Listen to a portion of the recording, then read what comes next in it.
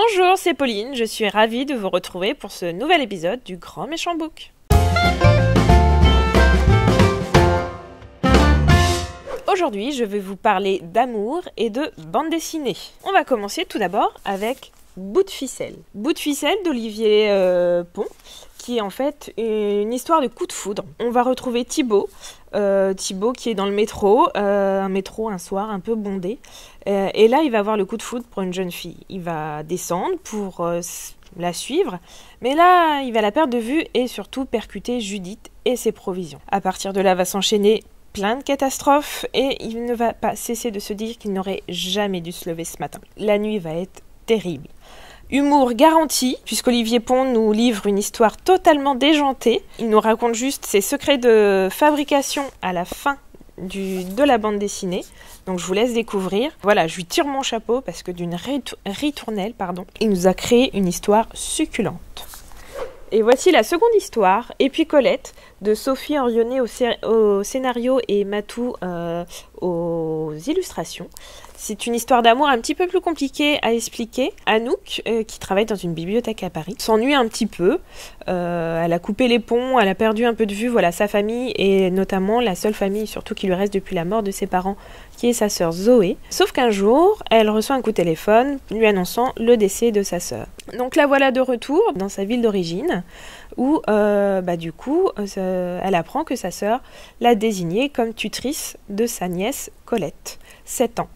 Donc voilà, à partir de là, euh, Anouk va devoir faire des choix. Donc je vous laisserai découvrir euh, bah, toutes ces interrogations dans ce livre. C'est un sujet assez difficile à traiter, euh, mais c'est toute la force en fait de Sophie Henrionnet et de Matou qui ont su trouver par des mots justes, sans pathos, avec beaucoup de dessins dynamiques et expressifs, la manière de le traiter voilà, avec douceur.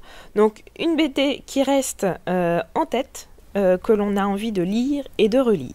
Et pour finir, la dernière histoire, Didier, la cinquième roue du tracteur de Pascal Rabaté et de François Ravard au dessin, Pascal Rabaté au scénario. Euh, si je vous dis agriculteur, célibataire en quête d'amour, vous allez forcément penser à une célèbre émission de télévision euh, où des agriculteurs recherchent leurs prétendants et prétendantes. Cette histoire, c'est ça, mais pas que. Nous avons Didier, 45 ans, qui vit seul euh, avec sa sœur, Soisic. Ensemble, ils font vivre l'exploitation familiale en Bretagne. Euh, Didier vit très mal son célibat. Un jour, il va voir, la BD commence comme ça, il va voir son médecin traitant pour des petits problèmes physiques que le médecin peut traiter, mais euh, pas son problème de célibat. Donc il l'incite à s'inscrire sur un site de rencontre. Donc ici on a une comédie avec des dialogues euh, assez euh, percutants et assez drôles. Pascal Rabaté et François Ravard nous offrent une chronique de la vie paysanne assez juste, sans omettre les difficultés liées au métier, mais aussi les difficultés humaines, souvent bah, la solitude.